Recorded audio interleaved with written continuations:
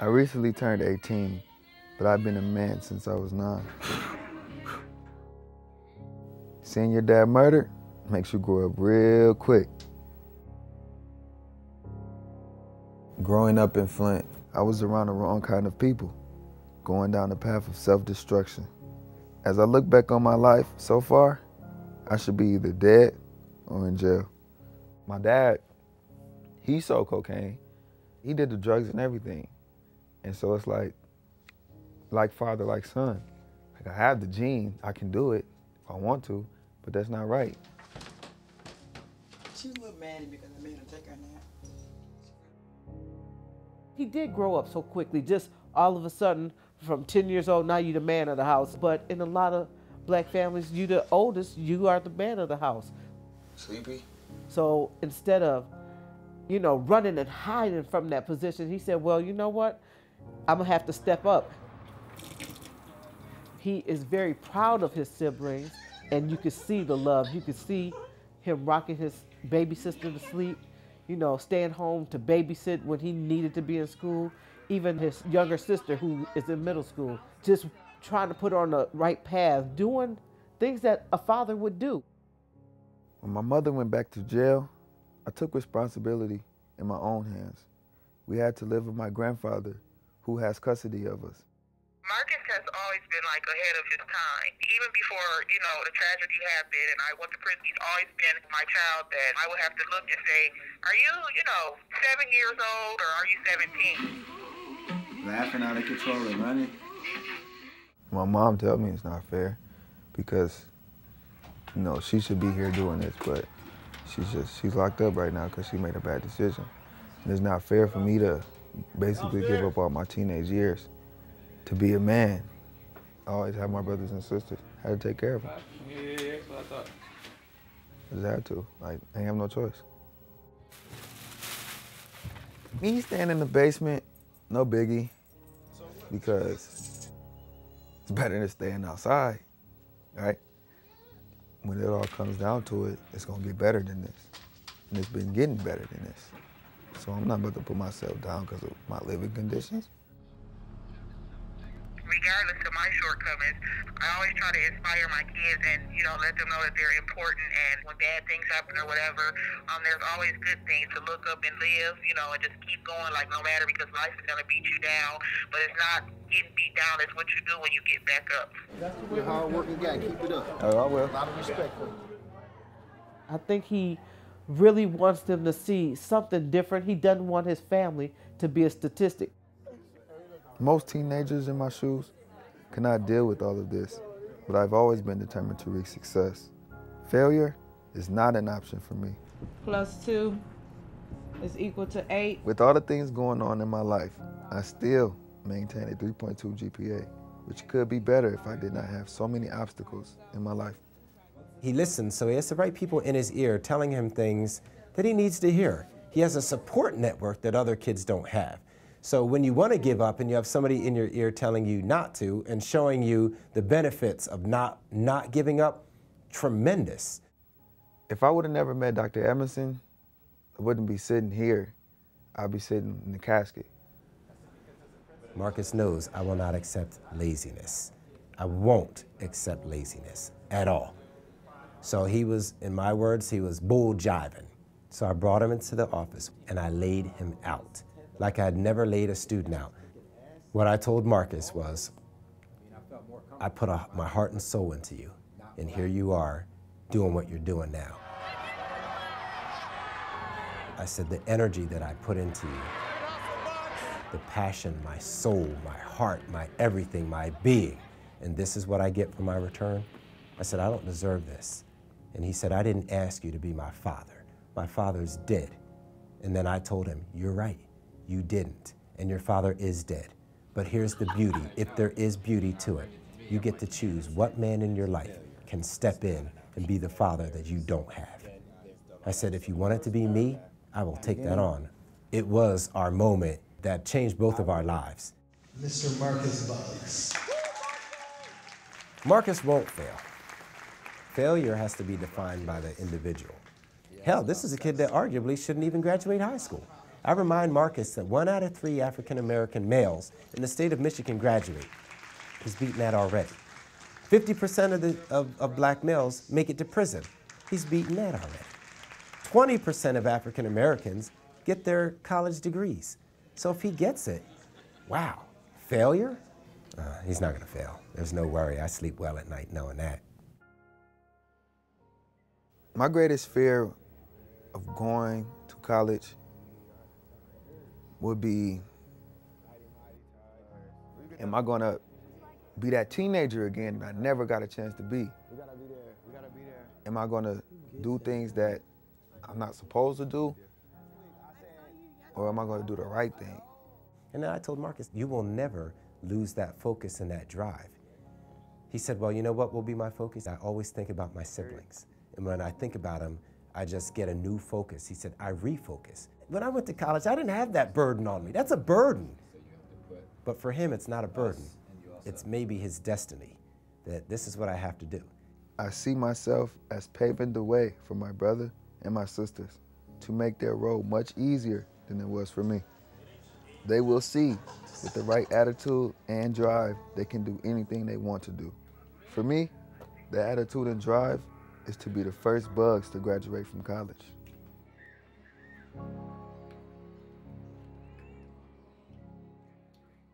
I got on my email and I'm looking at my calendar and thinking about the things that uh, we had to do, Marcus and I.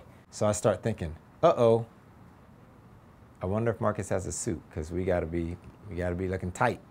A nice black suit or a nice dark suit? He said, no, not at all. He said, I've never had one. You have some choices, but not white. Instantly, I said, okay. We went to Men's Wearhouse. It all depends what you like. It's just about style, what you like. To see me in a suit, from where I come from, it's like, wow, like whoever thought that I'd be looking at myself through five mirrors at one time. Like, is this even possible? Give me a jacket, please. It's amazing when you put a suit on somebody, just the confidence level does change, specifically a student. It really takes time to really look this good. And then I saw the kid in him again. Look at this dude. Man, I have this suit on. I'm looking good. I wish I could show the world. He's like, Can you take a picture of me? Because he just wanted to send it out. No hands in pockets. And I told him, You know, you, you get a career, there are many more suits to come. He received an award from Asala, How are you today? I'm good. How's that? which was given at the Charles Wright Museum of African American History. This is Dr. David Goldberg, Wayne State University. Nice to meet you. And they asked him would he like to say a few words. For anybody out there who's my age or younger or still in high school, I, I am the oldest of four siblings. And if you have if you have siblings or even if you don't, there's always somebody looking up to you. There's always somebody looking up to you. So lead and just be that leader. He wowed him. He, he wowed the crowd. He wowed me. When I said what I said, it was just straight from the heart. They also gave me the key to Detroit. So I got the key to Detroit and I'm from Flint, Michigan. That that feeling right there is like, I got a key to your city and I don't even live there. That means I'm doing something that's essential. Congratulations. That's right.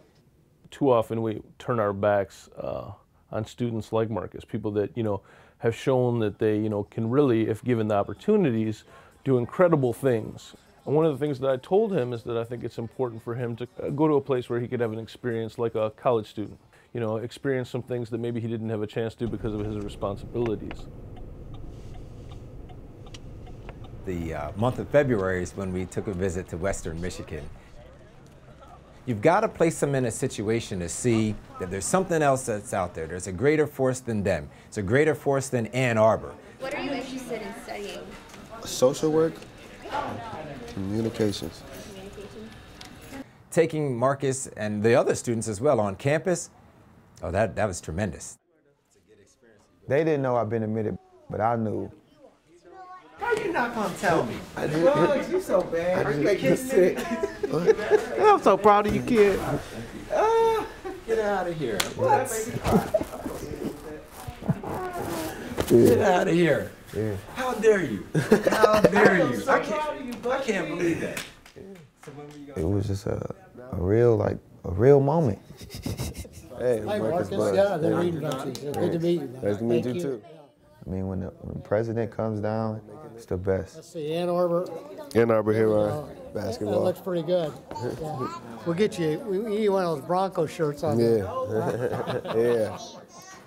The feeling was like, like I made it to this point. I did the first step. I passed. Uh, step two is coming August 21st. Western Michigan University.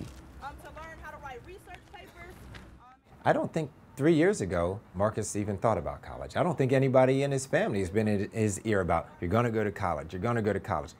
And Dr. E always said, there's a college out there for everybody. Like that's where all the other freshmen at. You know, You know, some would say, did he really make it? And my answer is absolutely. Do you know how many students don't ever get the opportunity to get into college, don't have somebody to push them to college? Right now, I still have a journey, I have a trek. I'm gonna start it off right, and it's gonna end great.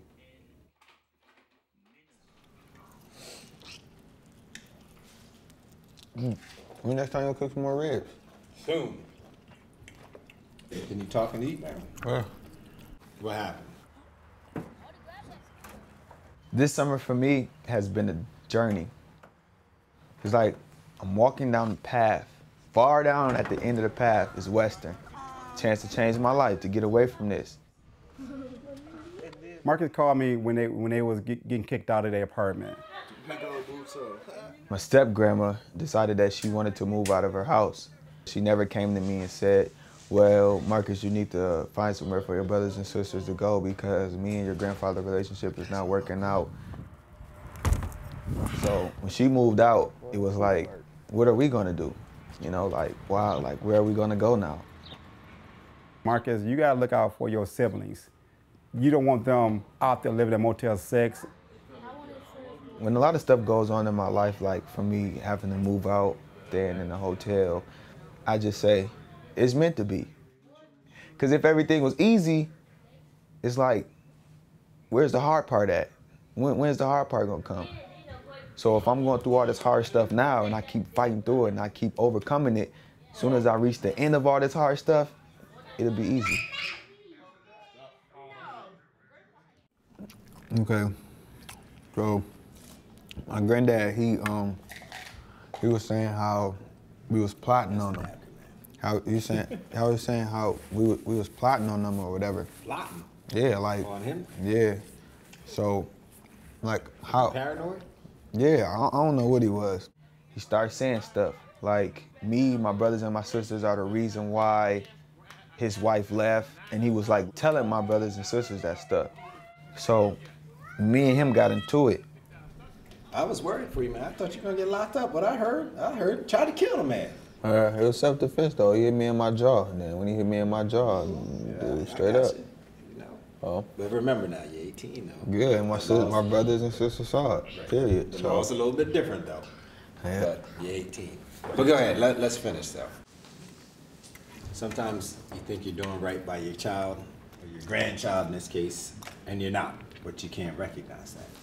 You know, the Mhm. one thing that I always say is, there are things that I'm gonna do or say to my boys that I think is right. Could be wrong. But I think it's right. At the time that I'm doing it, I think it's right. And then you turn around and you realize that, man, what I said absolutely impacts them negatively. Well, Marcus and his grandfather, you know, had, had that fight. Uh, his mother had called me early that day, saying some things to her own son that I don't think that she'd be saying. You know how your mom is, so nothing should ever surprise you. I don't think nothing should surprise you. You know what she's capable of doing. Mm-hmm. I think ultimately she does want the best for you. You know, but she's got to get to know you too. You're not the same guy that you were when she left. And also, she doesn't have the influence, the same influence on you as when she left. Yeah. love you. Love you too. As you made it home safe. Mm-hmm. Yeah, we out here. Yeah. And I think in some respects, man, you should, you need to cut her a break.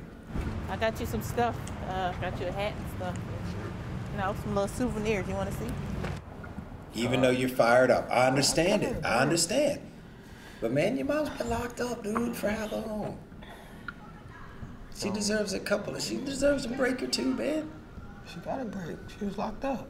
That's the break. See, don't be so arrogant saying that. break. Don't be so arrogant I'm- saying you just kind don't understand because I'm, I'm gonna let you know something right now because for the simple fact that you are the one that made me or saved my life, she was very upset about that.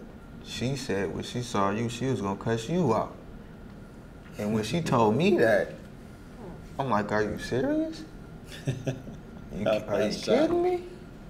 What did you think? She's gonna be open arms, like, oh, just come on, man. It's hard. It's hard to accept somebody else stepping in your child's life and filling a role that you didn't fill yourself. Ultimately, she's pulling for you. Coming to school is a starting point for my life. Time to focus on me now. As I was getting my key and filling out the forms, I was like, I'm almost home, I'm almost home, I'm almost home. I saw like students there with their mom and helping them build stuff and hanging their stuff up and basically organizing their dorm. I was just thinking like, what if I have my granddad and my mom here and my little brothers and sisters to see this? That I would give them a, a good inspiration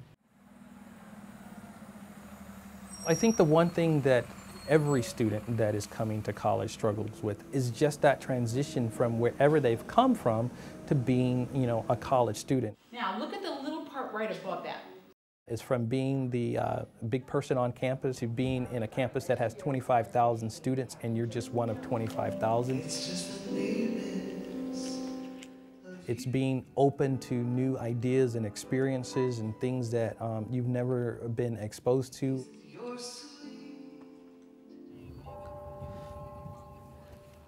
Walking around campus is it's really it's thrilling to me. It's like all the stuff that I went through in my life, I made it to college when they said I couldn't make it. She'll be able to really help you in looking. And when you look at um, where he's come from and you see his family situation and, and that he is that leader for his siblings and trying to, to lay a foundation for them to follow, um, you can see he does the same thing with the rest of our Seita scholars and he, he encourages them and inspires them to step up and be what they're capable of being. All right. What what is like my main problems when I when I do this? You know, I'm not afraid to find the connections I need to help me succeed in life. Why would I be afraid of that if this is what I came here for? You can learn a lot of things from me. You can learn that no matter what you're going through, you can still make it. You can believe in yourself. Don't be scared to face a challenge.